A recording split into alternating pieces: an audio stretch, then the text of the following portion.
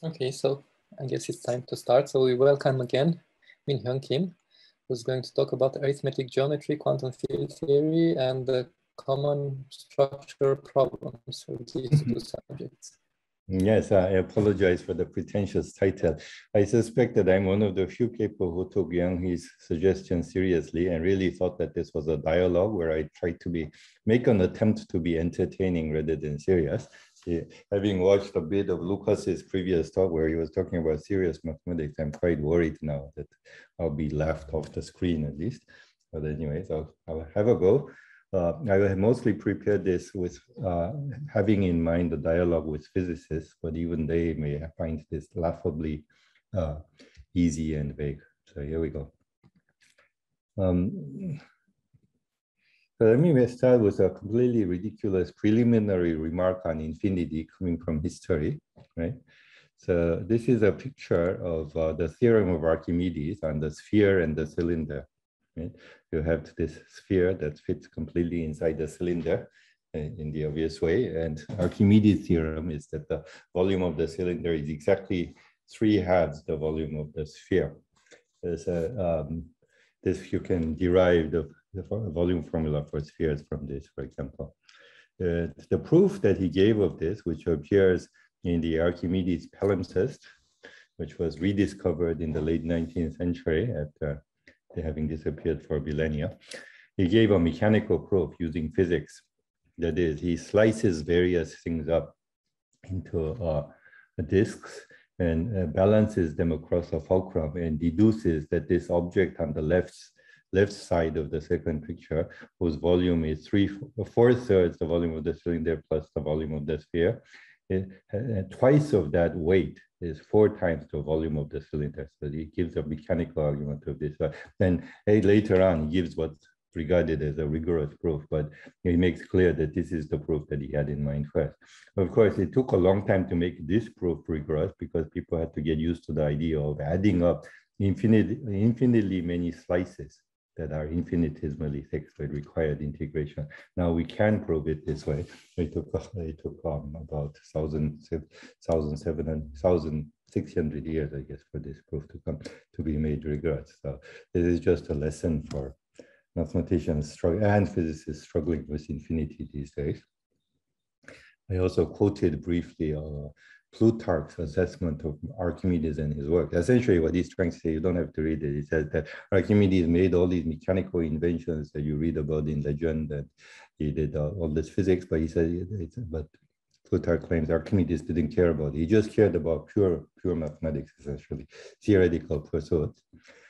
Uh, this is a load of nonsense, by the way. If you read Archimedes himself, he has nothing, there's nothing in it that indicates that he wasn't interested in applications. He moved quite freely between physics, engineering, and mathematics, and there's no indication that he thought lowly of any of them.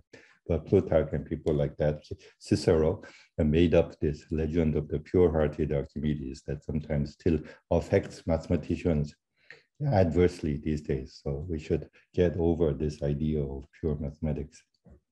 So I just put that up as a moral related to the previous proof. Okay, now we're supposed to talk about arithmetic geometry and quantum field theory. So let me briefly go over some common structures that we, uh, in line with my pretentious title that occur in both topics, both subjects. So for example, in both in both arithmetic geometry and quantum field theory, we are interested in rings, right?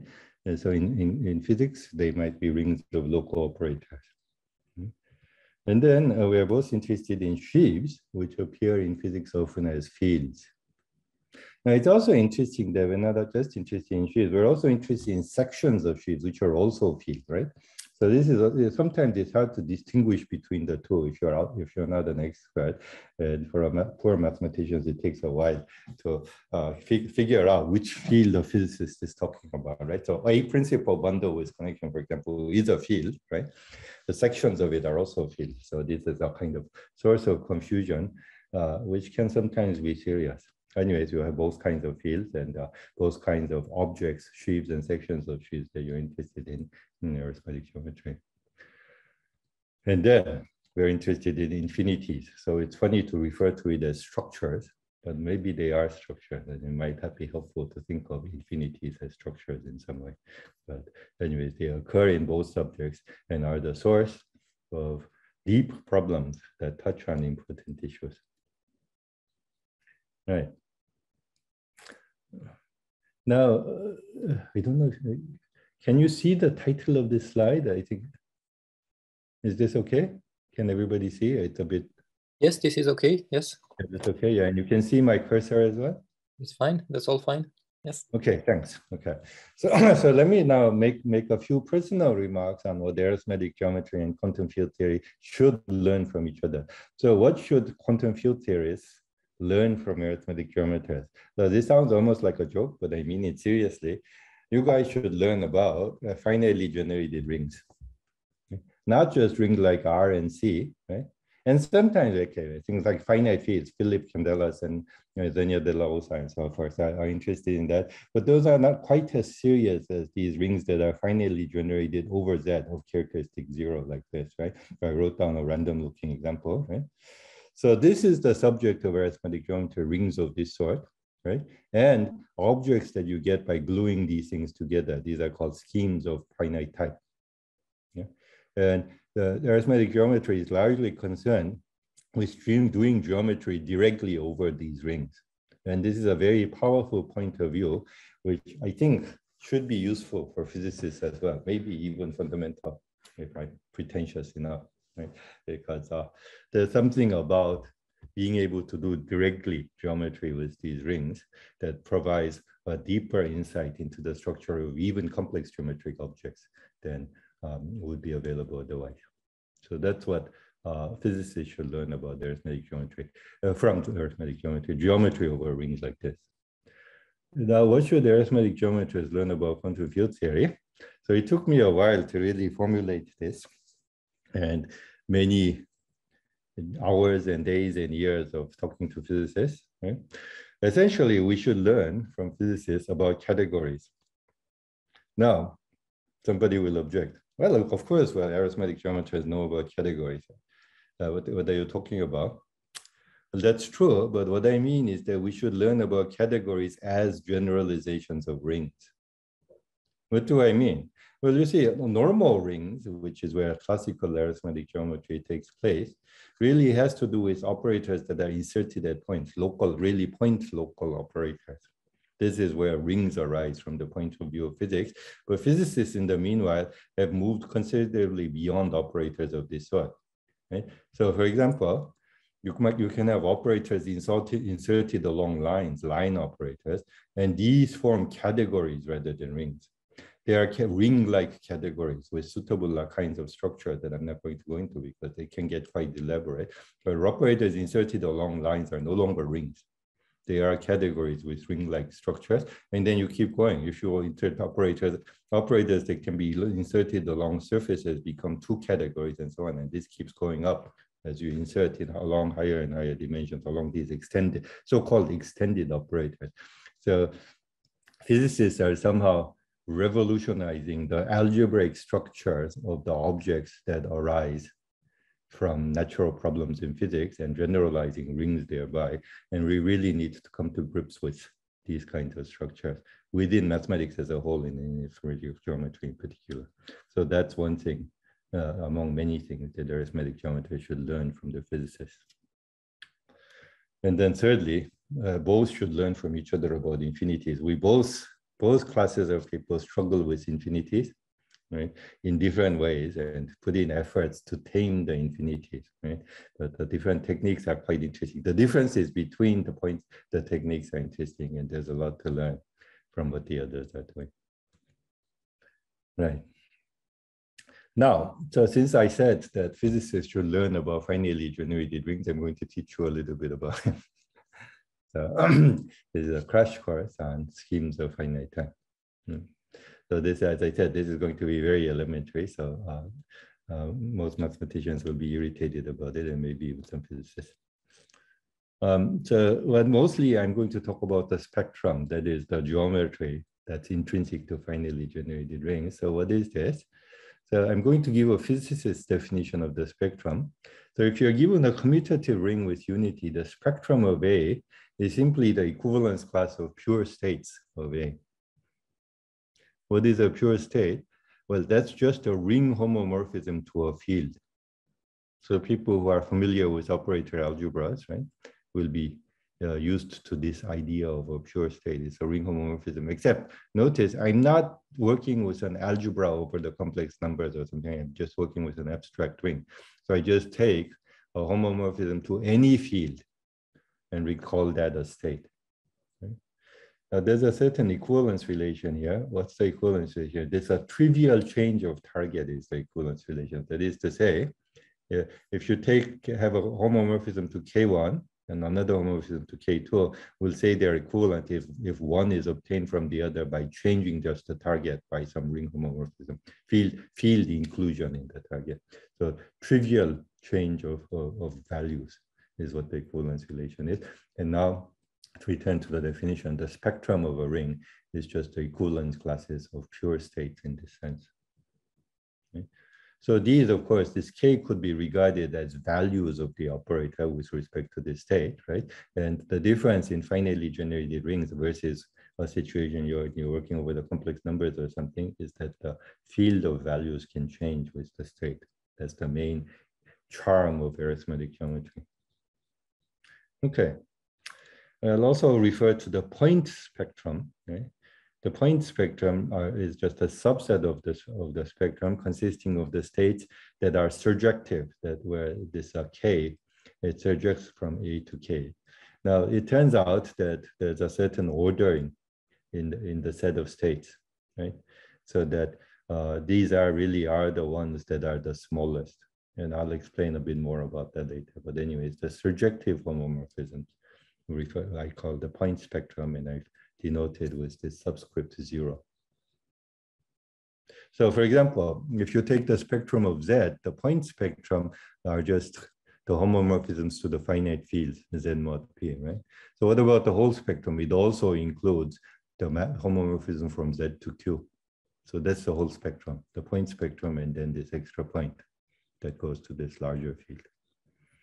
And then the point spectrum of the polynomial ring over C, right, is just C itself, given by evaluating polynomials at various points in C, while the, the whole spectrum also includes the uh, uh, the point, the, the, the, the states that includes the polynomial ring into its field of fractions. And one goes on, and there's a lot of examples like this. So if you look at the point spectrum of the polynomial ring in n variables, that's c to the n, corresponding to evaluating each of the xi's on a complex number. Whereas uh, uh, if you take the whole spectrum, it, it, includes elements like what we had before, uh, uh, states that include the polynomial ring into its field of fractions, the field of rational function. But actually, there are also points which I'm not going to describe, one for each algebraic subset of Cn, whose value is the field of rational functions on such a algebraic subset. So there are these kind of extended points in the theory of schemes as well, in the theory of spectra in arithmetic geometry.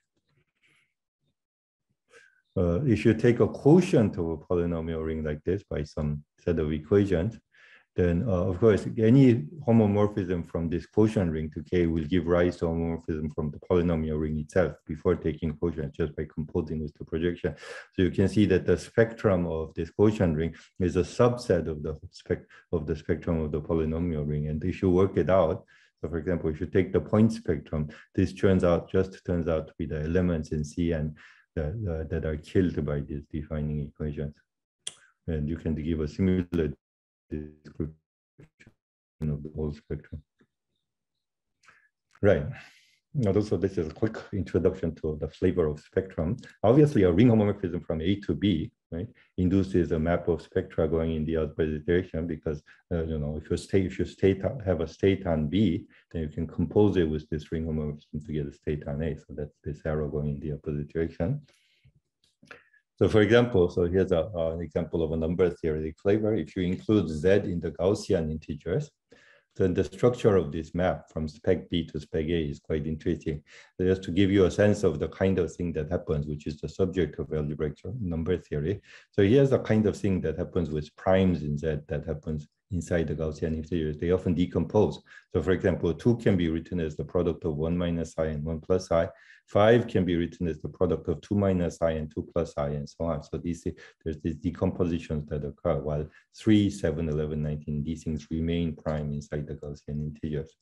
So what happens as a consequence from the point of view of the spectrum, I'll draw a picture here. So take, take for example, the, the state that reduces mod 5, sends z to z, the finite field z mod 5. You can include z into the Gaussian integer and reduce mod 2 minus i. So this turns out to be a finite field. That's actually isomorphic to z mod i. There's, a, there, there's an inclusion from z mod 5 to z mod zi mod 2i, which is just an isomorphism. Uh, So this up, upper arrow is a state that restricts to the state on Z that reduces mod 5. But you see the one with 2 plus i does the same thing. So what you can happen, have, what happens is then that on Z mod i, there are several states, two states that restrict to the same state on Z. So this kind of phenomenon is the subject of algebraic number theory and trying to see what happens uh, with more complicated ring extensions and so on. Okay, so there's a quick introduction to the spectrum.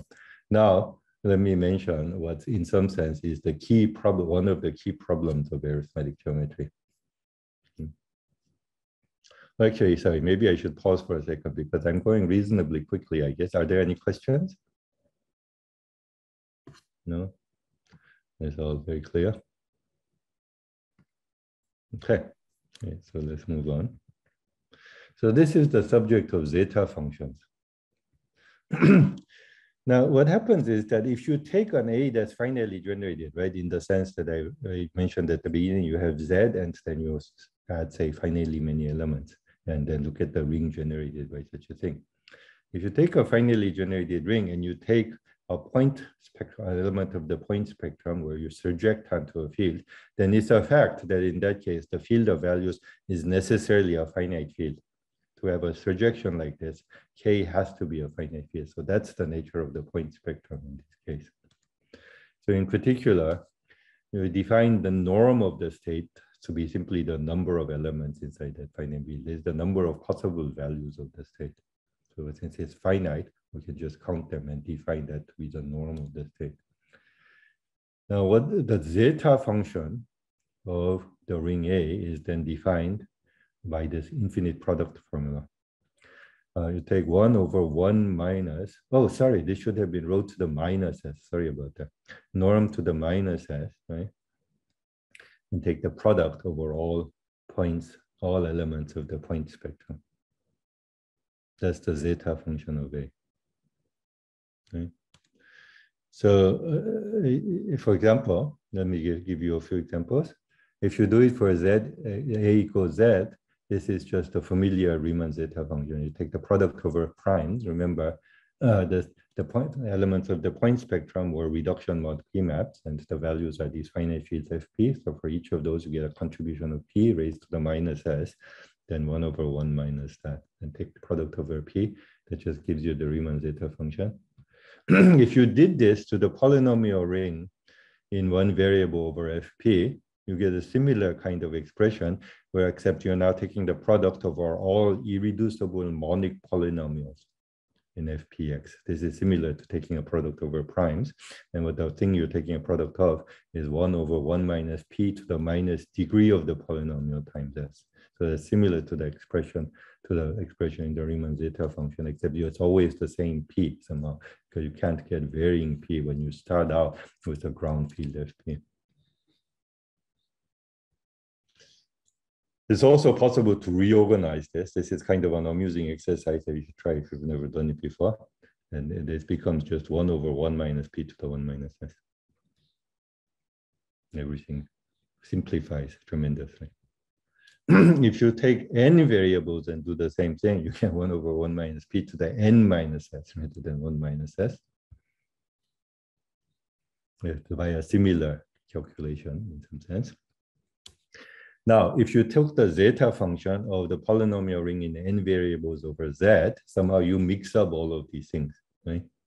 And you get a product over prime of the zeta over primes in z of the zeta function of this guy, the polynomial ring in n variables over fp. So in other words, you get uh, the zeta function of z the usual Riemann zeta function shifted by n. That's what you'll get when you take a product like this, because you get the same shift by n occurring for every prime.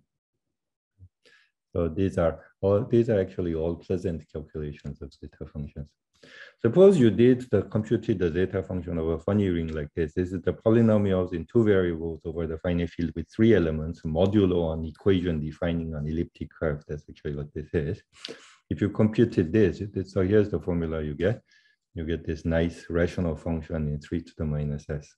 And these kind of formulas are typical when you compute zeta functions of this kind of cubic equation quotients of polynomial rings in three two variables over a finite field.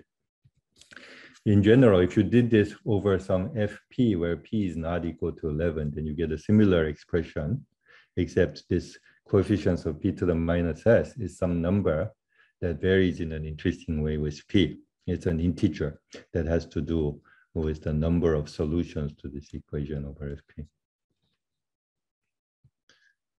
Now, if you computed the zeta function of the same kind of ring except over z rather than fp, so what you'll get is the product of all of these kind of things. The contribution of 11 just looks like this. But another interesting fact is that, so this looks like a horrible infinite product. It is.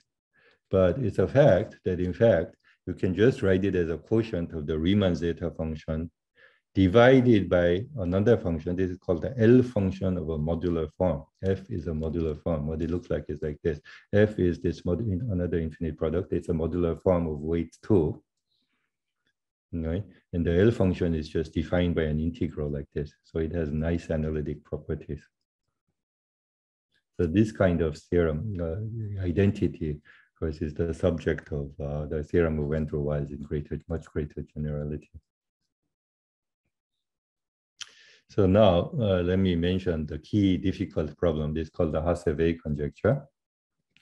What it says is that if you take any finitely generated ring, right, and compute the zeta function, right, then this is actually a meromorphic function on C with at most finitely many poles, and these poles occur at integer values of S right? So I, I didn't say it at the beginning, but this is not going to converge for all S. It converges for real part of S sufficiently large. One can prove that. That also takes some doing, but you can prove that. But then the Hasse-Weil conjecture says that it has a meromorphic continuation to all of C. So this is the main one of the main infinity problems of number theory. Proving this conjecture is known only in very, very few, few cases, right? In, but and in fact, a main motivation of the Langlands program is to prove the Hasse-Weil conjecture by establishing a connection to automorphic forms, similar to that formula involving modular forms for elliptic curves that I showed you earlier. So if you look at Langlands' earlier papers, he'll in fact say that this is the motivation for the Langlands program. It changed, it, it was modified and grew somehow in different directions afterwards. But even now, of course, it is a main motivation existence of this meromorphic continuation. So, so this formula generalizes to something called L functions. So now I'll up the language a little bit. Right? So what you can do is you can start with a sheaf on spec of A and define its L function. Um, L number, actually, it's not a function the way I wrote it, by a formula like this. It's similar to what you had before, but we'll now go over the, take a product over point spectrum and look at determinant of one minus an operator called the Frobenius. Remember, this was a, this X is a finite field somehow, right? So the, Frobenius map acting on the stalk of V over X bar. Actually, this is slight abuse of notation, but X evaluated under algebraic closure, uh, V evaluated under algebraic closure of X. So you get a, the, the, this is a kind of L invariant of the sheaf, right? What is the L function from before, but uh, you can turn it into an L function by sticking in this norm to the minus S as before. So this way, the zeta function that we defined earlier is just the case where V, v is the trivial sheaf. So you, it's generalized in this way. But the point of view that's kind of important, that's well known but still not emphasized often enough is you should really just think of the L invariant in this way and the variable S just comes in to the sheaf, right? It's because you're varying the sheaf inside the family that you get a complex variable occurring in these formulas. So it's this uh, function of sheaves that you're actually studying. So if you, the, the Hasse-Weil conjecture generalizes to this situation that when V is something called a motivic sheaf, something that comes from geometry, then this should also be analytic, actually meromorphic depending on the situation, and often analytic in S. So this is the more general Hasse-Weil conjecture. Okay, so this is uh, one of the very, very important unsolved problems in number theory, right? And any progress on this for a non-trivial varieties of dimension, scheme of dimension three and above would be a big, big advance. But uh, let me emphasize again, there's this meromorphicity and so on. But in my view, the key problem is to just define the infinite product for general V. So you can start from a V and you can twist it by an S of very large real part, and then this converges and you turn it into a problem of a meromorphic continuation. But in a sense, the key problem is just to be able to define this product for natural Vs. Right? So it's an infinite product regularization problem and so. So uh, what I wanted to say today, as I said, you shouldn't take what uh, what what come on the next slides at all seriously. Up till now was kind of pedagogical and commonplace, but still it's meant to be entertaining, and I didn't say anything wrong, at least not seriously. But now it's going to be some serious speculation. Well, uh, serious in the sense that badly serious speculation. So is there a field theoretic interpretation of this thing? This construction just out. So let me first point the following out. If you take these factors, one over determinant of fx acting on vx, this of course is just a trace of the same operator acting on the symmetric algebra, right? Of vx. So I'll write this as an expectation value since that's a trace. Mm, also, if you think about the symmetric algebra, this is just an algebraic, of course, you're in general, in, in actual quantum mechanics overseas, you'd have to do completions and all that kind of nonsense. But it's the algebraic quantization of this symplectic vector space V cross V dual, right? Which also admits the action of this Frobenius as a symplectic transformation. So now, so, so suppose you computed the expectation value of all the product of all of these x's acting on the infinite product of the Hilbert spaces associated to each pure state. So this is the trace of product over x of fx acting on the tensor product of the Hilbert spaces.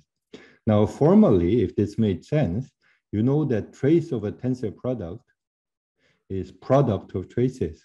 So this is actually product over x of trace of Frobenius acting and the Hilbert space associated to x, which then is just a trace product over x of one over the determinant. So in other words, this is the L function.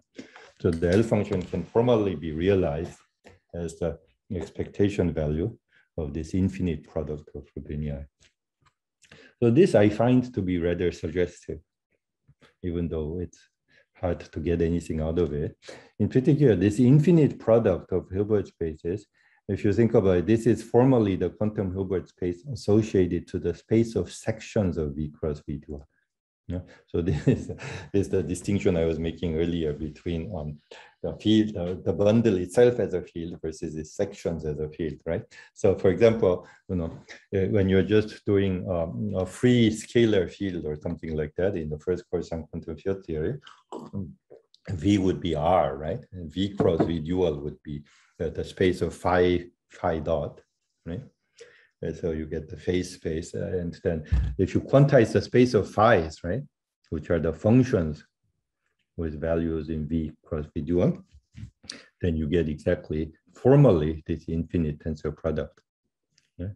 Uh, so, so as I said, the reason I find this interesting, even though it's a very simple remark, in physics, people actually, I have succeeded eh, from the beginning of a course on quantum field theory in making sense of this infinite tensor product.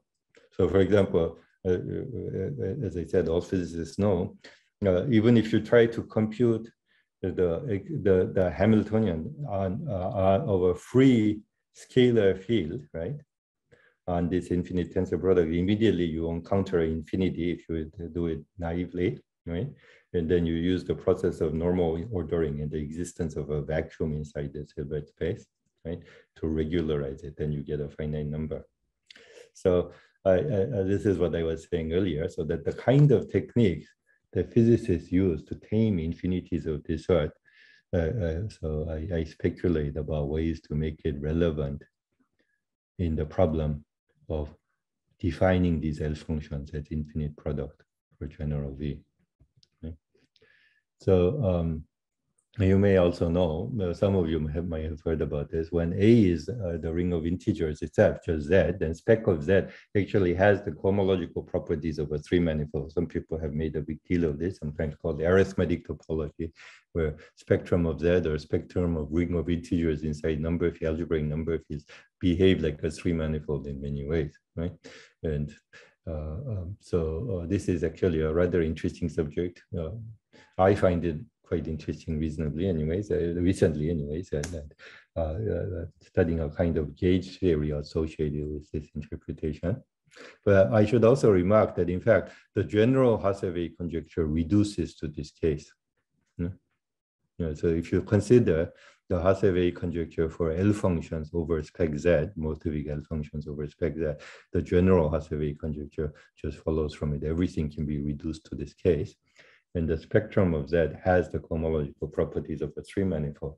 So if you see uh, this Hilbert space, yeah, infinite tensor product over the points of spec Z over Hilbert space occurring like this, right? And if this is the quantum Hilbert space of a theory, right, then this does suggest the presence of a kind of four-dimensional theory for which spec Z is a 3D space like slice. Hmm. So a number of people have been speculating about this in relation to the Langlands program, Ben-Zvi, Venkatesh, Gaitsgory in the analog over a finite field, right? And this interpretation of the L function via this infinite tensor product, right, seems to me another bit of evidence that there's a kind of arithmetic four-dimensional theory that uh, one might try to define, possibly in some categorical fashion, and hopefully it has something to say about this problem of defining L functions. Okay, maybe I'll stop there. Thank you very much. Well, thank you very much, Min Hmm? It's time, time for questions now.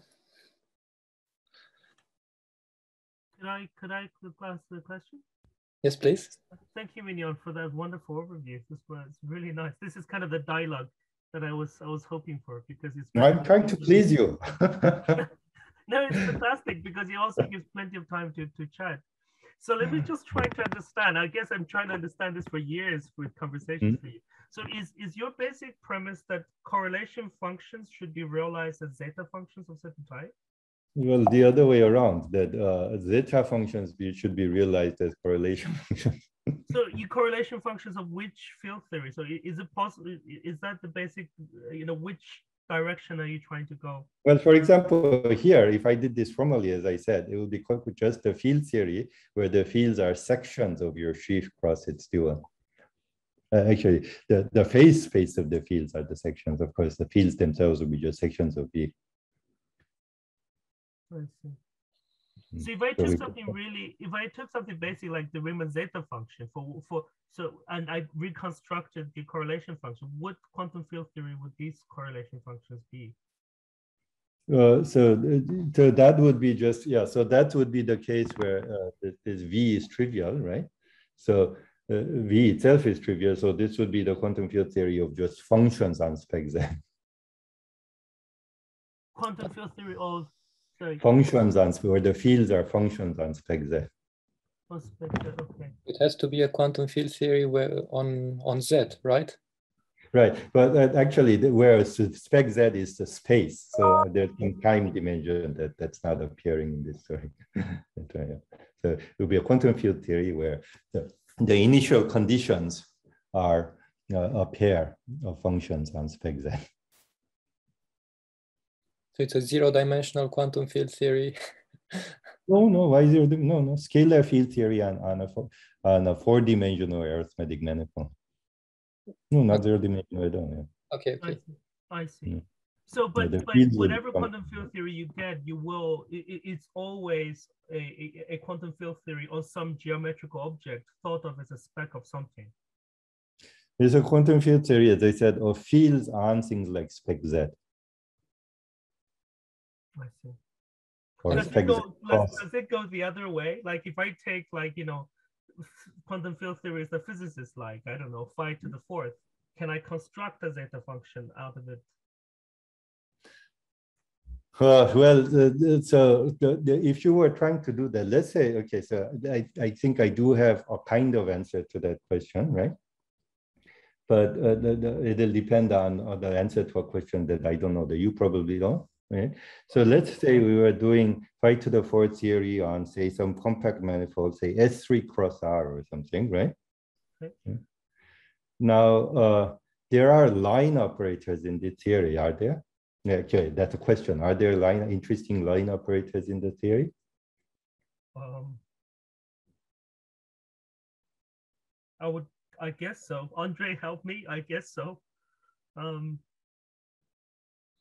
So these was the like, one you, one. like you know, like Wilson loops in this theory. Or That's right. Yeah, Wilson. Are there things like Wilson? loop? But Possibly not. So maybe we should take a gauge theory. Well, you need a gauge. Exactly. You need some kind of a gauge structure. Uh huh.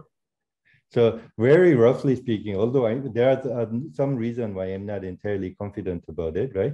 But if you took the correlation function of a product of Wilson loop operators, right, that would be analogous to the zeta function.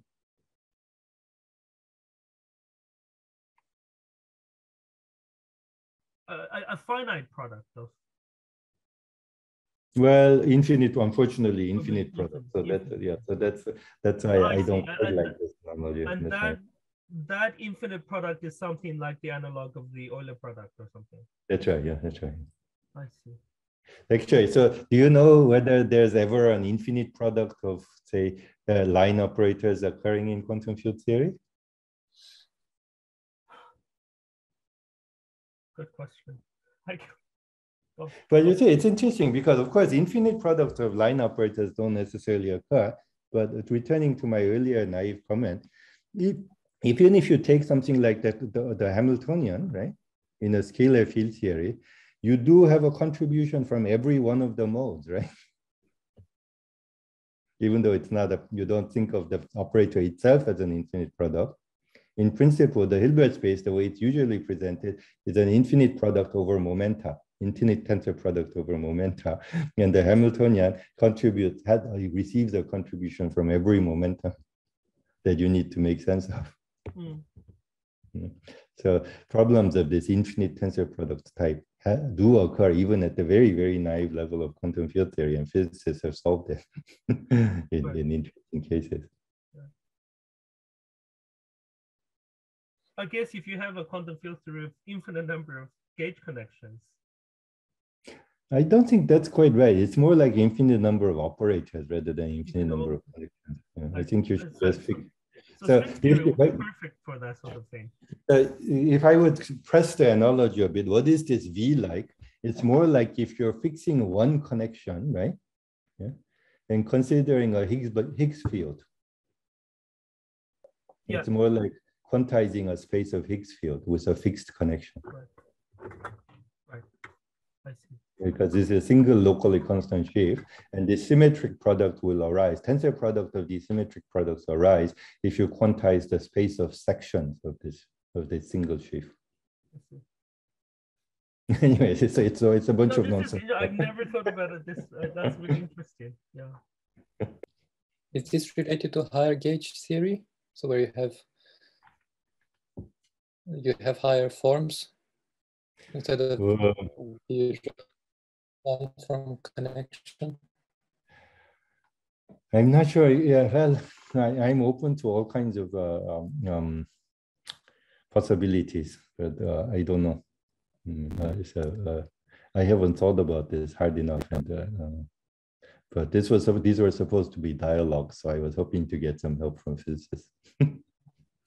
No, yes, that's a good question. So, how many physicists are actually here? I Mm, just want to check the audience of like, what's the breakup? I mean, it's usually been fairly mixed, right, Andre? You know, like, it's been fairly good. Mm. Yes. I don't know exactly who are physicists. So. One question that I had, so you mentioned the Langlands program and uh, mm -hmm. you mentioned poles, finitely many poles, meromorphic functions, but uh, what is known about the zeros of these zeta functions? Are there any interesting statements like the Riemann hypothesis? Mm, the, there are analogs of the Riemann hypothesis. Have, the, the, the, the, poles are supposed to come from algebra. So I spoke about spec A, but A actually is something like the ring of functions on a variety over Z, right? So that's the way you interpret this. And the poles of the zeta function have to do with algebraic cycles on the, uh, the, pole, algebraic cycles and the variety contribute poles. Now, zeros, some zeros also have to do with uh, so let's see if I can say this correctly. Zeros uh, at certain values have to do with extensions of motifs in some sense. So these, these have to do with the, so uh, let me restate, I'm saying this wrong. Poles have to do with uh, cycles modulo homological equivalence, right? And many of the zeros are accounted for by cycles that are homologically equivalent to zero. That's what gives you many of mm-hmm. the integer, integer zeros. Now, if you have half integer zeros, like in the Riemann hypothesis, that doesn't normally occur in this theory. So I, that, that's not so much part of this theory in some sense. So that's a funny thing about the Riemann hypothesis. Everybody people get worked up about the Riemann hypothesis, but it's not somehow part of standard arithmetic geometry in a certain sense. Well, it is, of course, because you have the Riemann hypothesis over finite fields, and these play a role in the convergence properties of these functions. But somehow it's hard to make it fit into this kind of general theory. By the way, I don't know if this is, this is again, very unknown to expert, but not stated often enough. Langlands program has nothing to say normally about the Riemann hypothesis. Mm -hmm. uh, there are a number of reasons why one can make that statement. It's but partly it's because the, the Langlands program is relevant to these questions. It says that motivic functions or automorphic L functions, right? And the zeta function of Z is the only L function that's simultaneously automorphic and motivic. So Langlands program says nothing about that. And in, in general, Langlands program doesn't by itself say anything about zeros and poles and things like that so that is very special in that sense. In some ways, that, that's right. And and that the origin of this one half is just it, this one half is just for z and not for the other generic L function. No, no, yeah, it's a yeah, yeah, it's a there is a there is a line of reflection. There are these functional equations that I've right. been omitting right. from the, right. the story. So uh, uh, these are L functions for a so like a zeta function of, of, a scheme of finite type will break down break up into L functions of Étale cohomology. So if you look at the contribution of degree degree i, right, mm. then it has a satisfies a functional equation across the line real part of S equals n plus one minus i, where, where n is the dimension. Uh-huh. So so uh, uh, so then what will happen is that uh, um, the, the yeah i goes to n plus one minus i. So uh, uh, n plus one over two is the line of reflection. So if n is even, you get an odd degree, uh, sorry, mm. a non-integral half integer line of reflection. And you can try to generalize the Riemann hypothesis and say something about that. But standard motivic theory doesn't say anything about that somehow, that you have to go further. So the integral zeros have to do with motives, cycles that are homologically equivalent to zero. Well, thank you, Minhyong. Thank you. No, thank you for uh, the opportunity to speak. It's awesome. Thank you very much.